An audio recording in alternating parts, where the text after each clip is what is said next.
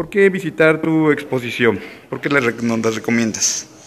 Les recomiendo para que vean y viajen a varios lugares al mismo tiempo en un solo cuadrito, que es este cuarto, y puedan ver algunas de las actividades de varias gente de todos los días, desde músicos, pescadores, eh, eh, vendedores de fruta, en fin, ¿no? Entonces es muy, muy, muy simpático poder ver pues, el trabajo de otra gente que está en nuestro camino de todos los días.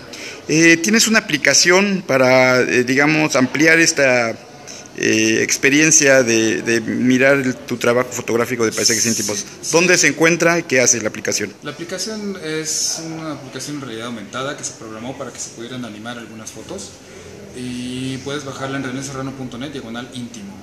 Hay dos versioncitas porque hay para teléfonos un poquito pues con más capacidad y hay otra más chiquita que anima nada más una foto. Eh, las dos están para Android, creo en, en un sistema libre y por eso las hicimos ahí. Se enteren de lo que se está haciendo sin forzosamente gritar al espectador, esto es México.